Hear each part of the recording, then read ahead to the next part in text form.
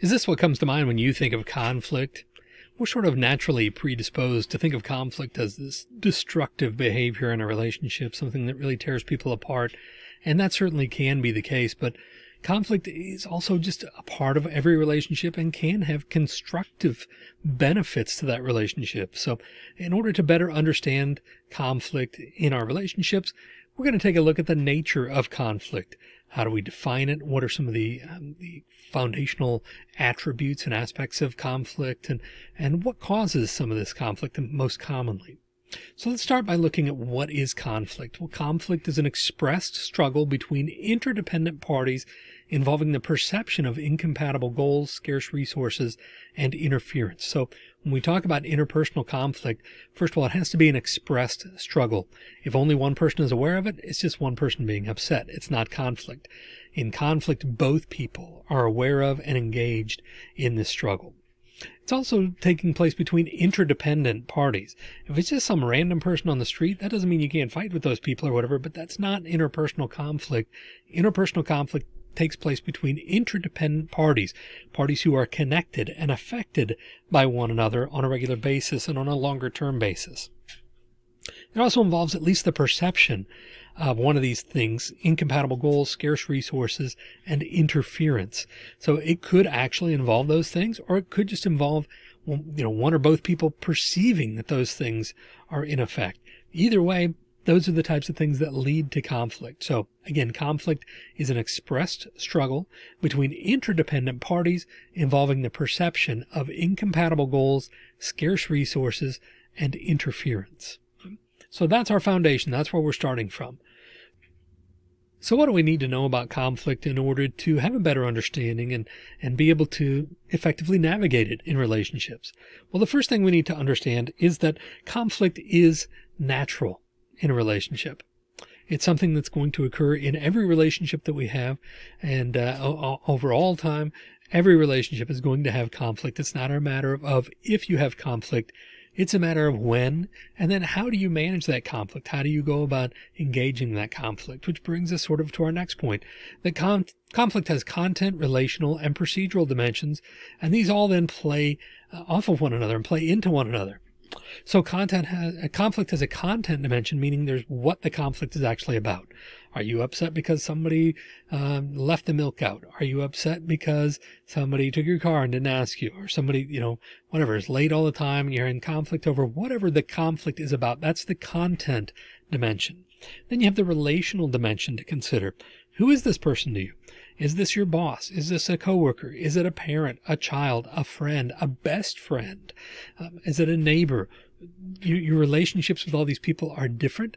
And so the way you engage in that conflict and the considerations that you have to, to think about are different for every relationship. Then finally, the procedural dimension, meaning how do you go about conflict?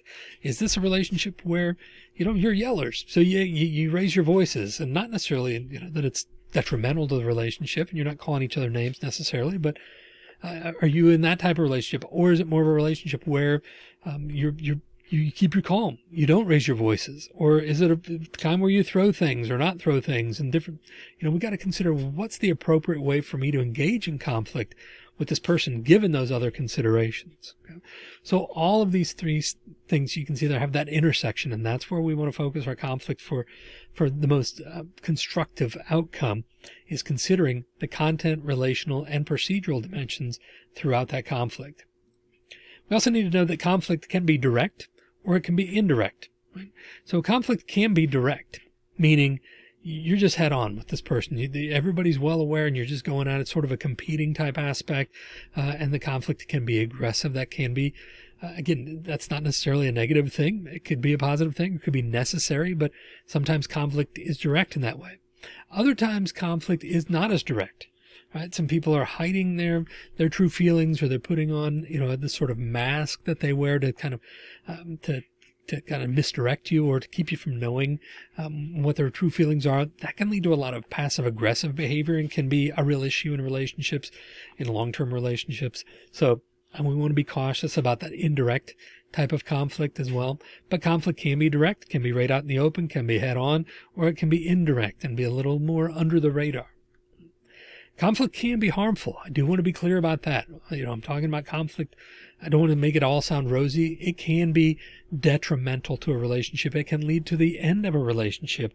Again, if it's not handled appropriately in terms of the content, relational, and procedural dimensions, conflict can be extremely harmful in a relationship and even, again, oftentimes lead to the end of that relationship. But it doesn't have to.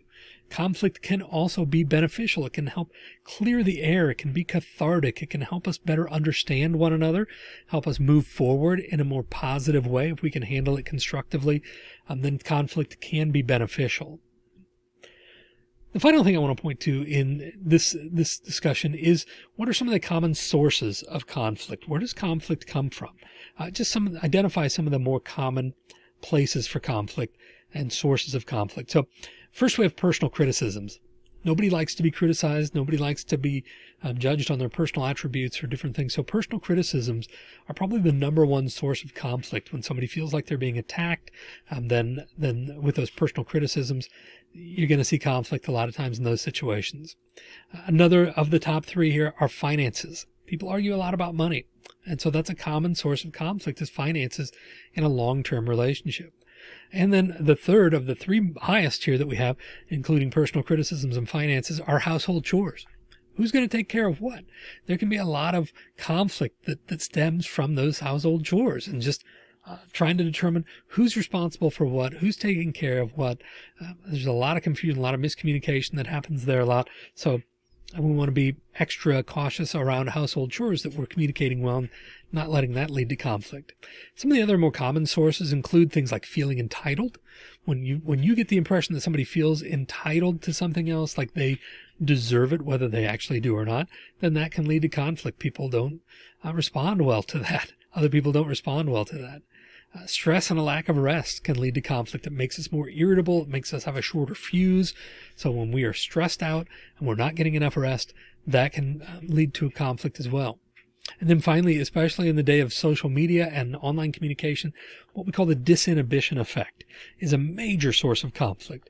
The disinhibition effect basically says that we are braver when we are behind a screen, that we are more likely to, to say things when we're on the other end of our phone or computer or whatever. We're not face to face with that person. We're more likely to say things uh, with a, with stronger effect in those situations than we are when we are face to face with that person. Our inhibitions are sort of released. And uh, it's sort of like, you know, when people drink, they say things and do things that they wouldn't normally do because alcohol naturally lowers our inhibitions. Well, it turns out being on the other side of a screen can have that same effect and have us saying things and, and indicating things that we wouldn't normally say or, or do if we were face to face with that person. So we need to be aware of that. That can be a huge cause of conflict as well.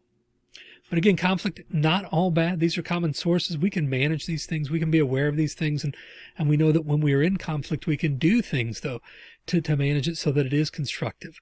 Not all relate, not all conflict has to end up in that rolling around on the ground fighting. In the end, you never know who might turn out to be your best friend. And you might just become best friends out of that situation, right? If you can manage that conflict well and, and, uh, and resolve it effectively. If you have questions about the nature of conflict or anything else related to, to this area, please feel free to email me. I'd love to talk to you in that way. And uh, in the meantime, I hope that you have a better understanding of conflict and a renewed understanding of conflict and the role that it can play, the positive role that it can play in a relationship.